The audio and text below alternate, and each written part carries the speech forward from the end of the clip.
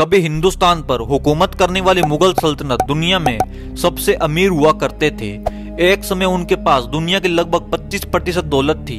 उनके साम्राज्य में यूरोप के सभी साम्राज्य की तुलना में अधिक रतन मोती जैसे खजाने थे।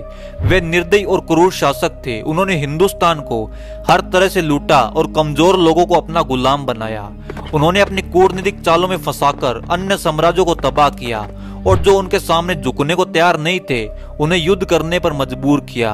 कला के शौकीन मुगल शासकों को फारसी बगीचे जितने पसंद थे, उतने ही वह खूबसूरत महिलाओं के भी दीवाने थे।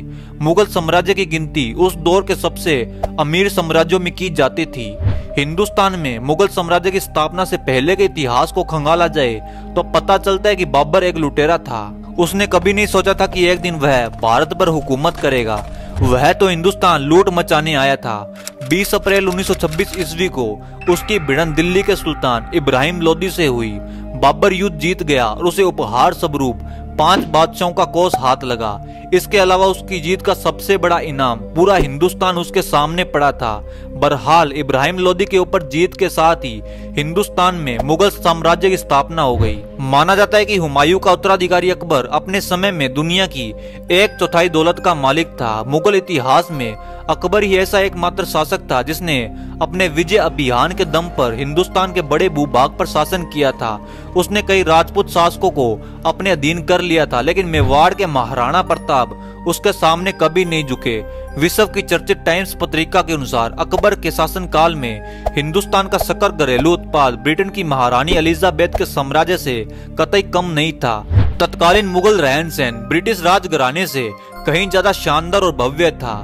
जलालुद्दीन मोहम्मद अकबर के समय से लेकर सांझा तक मुगल सल्तनत का दरबार दुनिया भर में सबसे शानदार जगहों में से एक था। यहाँ विश्वव्यापी और धर्म सहिष्णुता आम थी।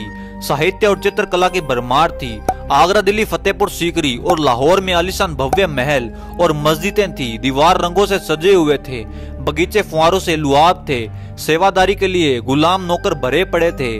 माना जाता है कि मुगल साम्राज्य की अर्थव्यवस्था अकबर के शासन काल के दौरान अपने चरम पर थी और संभवत ताजमहल बनने के बाद इसमें गिरावट आई। इस तरह से अठारहवीं शताब्दी से लेकर आर्थिक तरक्की के मामले में दुनिया की सबसे बड़ी अर्थव्यवस्था के रूप में भारत ने चीन को भी पीछे छोड़ दिया था। मुगल बादशाह सांझा के पूर्ववर्ती सम्राट जहांगीर ने शाही खजाने में एक बड़ी रकम छोड़ी थी। इस कारण मुगल स्थापत्य शैली की भव्य इमारतें बनाने में सांझा का हाथ कभी तंग नहीं हुआ। बैंक ऑफ़ इंडिया इंग्लैंड के रिकॉर्ड के आधार पर कहा जाता है कि 1640 ईस्वी में शाहजहानी रुपए की कर शक्ति आज के भारतीय रुपए से लगभग 500 गुना ज़्यादा थी। इस हिसाब से अगर ताजमहल आज के समय में बना होता तो इसे बनाने में लगभग अरबों खर्च होते। वहीं मयूर सियासन मुगल काल की सर्वश्रेष्ठ कलाकारी थी, जिसे बनाने में मजदूरों को लगभग सात साल लगे थे। मयूर सियासन को बनाने में उस दौर के तकरीबन एक करोड़ रुपए खर्च हुए थे, जो आज के अरबों के बराबर हैं। एक अंदाजे के अनुसार सांझा के शासन काल के दौरान मुगल साम्राज्य की संपत्ति फारस और फ्रांस के प्रतिद्वंदियों की कुल संपत्ति की तुलना में कहीं अधिक थी। सन 1648 में मुगल साम्राज्य की सालाना आय 21 करोड़ रुपए आंकी गई थी। उस दौरान उनके शाही खजाने में 60 टन सोना 1116 टन चांदी 8 पाउंड हीरे 1600 पाउंड मोती, इसके अलावा असंख्य जवाहरातों का खजाना था। हिंदुस्तान के भव्य मुगल साम्राज्य की चकाचौंध को देखकर यूरोपीय लोगों की आँख फटी की फटी रह गई। ऐसे में उन्होंने अमेरिका की खोज के बाद हिंदुस्तान को अपनी साम्राज्यवादी नीतियों के अंतर्गत लाने के प्रयास शुरू कर दिया। इस तरह औद्योगिक ब्रिटिश साम्राज्य के उदय और उसके हस्तक्षेप ने मुगल साम्राज्य को धीरे धीरे पतन की ओर खिसका दिया। इससे एक समय पर बलवती मुगल साम्राज्य ने एकाएक ब्रिटिश साम्राज्य के आगे घुटने टेक दिए। आखिरकार उन्नीसवीं शताब्दी के मध्य में हिंदुस्तान उप महाद्वीप में मुगल साम्राज्य पूरी तरह से समाप्त हो गया और ब्रिटिश उपनिवेश की शुरुआत हो गई। आपको मुगल कालीन इतिहास कैसा लगा? अगर आपको यह वीडियो अच्छी लगी तो वीडियो को लाइक करके चैनल को सब्सक्राइब ज़रूर कर लें।